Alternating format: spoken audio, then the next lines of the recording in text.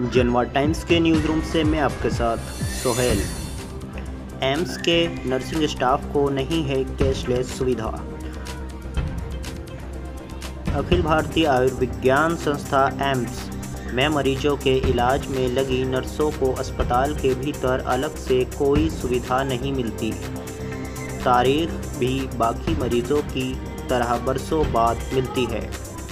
वो अगर बाहर इलाज कराते हैं तो कैशलेस की सुविधा नहीं मिलती। अपनी ऐसी ही कुछ मांगों को लेकर एम्स की नर्सों ने आज से भूख हड़ताल शुरू कर दी है।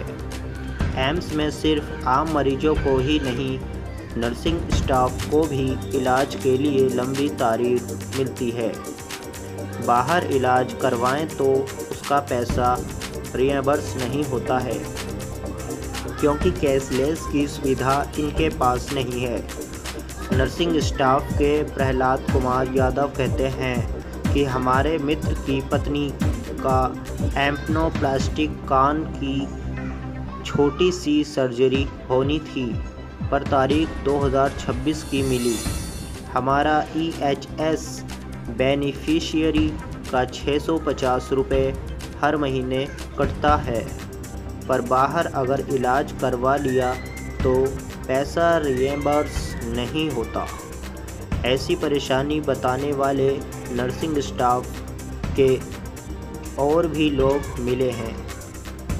एम्स में senior nursing officer Meenu Sharma बताती हैं कि बेटी के इलाज के लिए, वायरिंग के लिए यहाँ लेकर आई।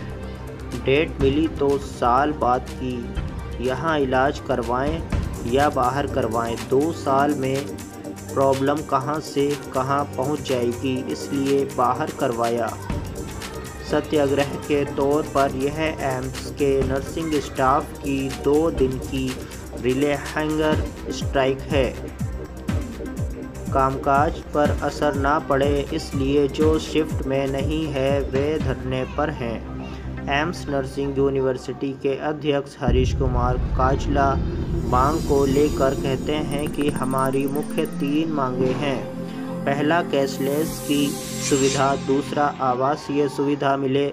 और तीसरा, छठे और सातवें वेतन आयोग की खामियों को दूर किया जाए। भूख हड़ताल से पहले इन सबने तीन दिनों तक काली पट्टी बांधकर काम किया।